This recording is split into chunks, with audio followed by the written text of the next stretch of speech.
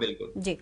जैसे एम्स के प्रोफेसर साहब ने भी कहा है कि आंकड़े में कमी नहीं हो रही है फिर भी हम जो रिसर्च हो रहा है रिसर्च के माध्यम से जैसे अभी फ़िलहाल ही में एक रिसर्च हुआ है कि नेशनल टीबी प्रिवलेंस सर्वे हुआ था उसके तहत हमने जो देखा कि अधिकतर लोग जो लक्षण है अराउंड 64 परसेंट चौसठ परसेंट प्रतिशत लोग जो है लक्षण होने के बावजूद भी डॉक्टर के पास या अस्पताल संपर्क नहीं किए। तो इसके वजह क्या है? हमने जानने की भी कोशिश की उसमें पता चला कि 68 परसेंट जो है लोग जो है लक्षण जो भी लक्षण पाते हैं उसे नजरअंदाज कर देते हैं। और और थोड़े लोग 18 परसेंट के लोग जो होते हैं वो उनको यही नहीं पता है कि इलेक्शन के वजह से टीबी हो सकता है।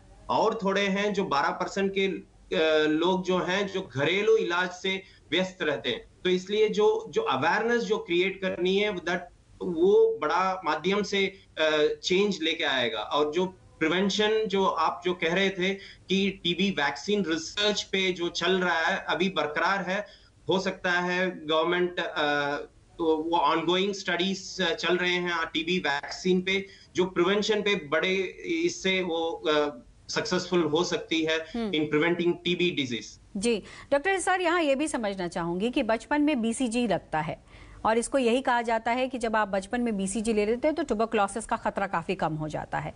ऐसे में जिन लोगों को खास करके एल्डरली एज हो या फिर यंगर एज में टीबी हो जाए और बचपन उनको बीसीजी भी लगे तो इसका, इसको हम थोड़ा समझना चाहेंगे कि बीसीजी कब तक इफ़ेक्टिव होता है या ये इसीलिए वैक्सीन पर काम हो रहा है कि बीसीजी लेने के बावजूद भी वैक्सीन अगर हमारे पास उपलब्ध है तो इसकी रोकथाम में आसानी होगी।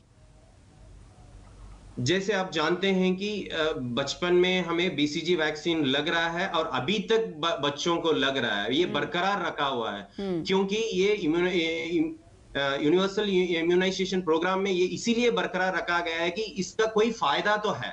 तो फ़ायदा फ़ायदा जो है इसमें इसमें इसका जो फ़ायदा जो है जो सिवियर डिज़ीज़ जो आता है बच्चों में उसका रो रोकथाम बिल्कुल करता है बीसीजी इस वजह से इसका जो वैक्सीनेशन शेड्यूल में बरकरार है।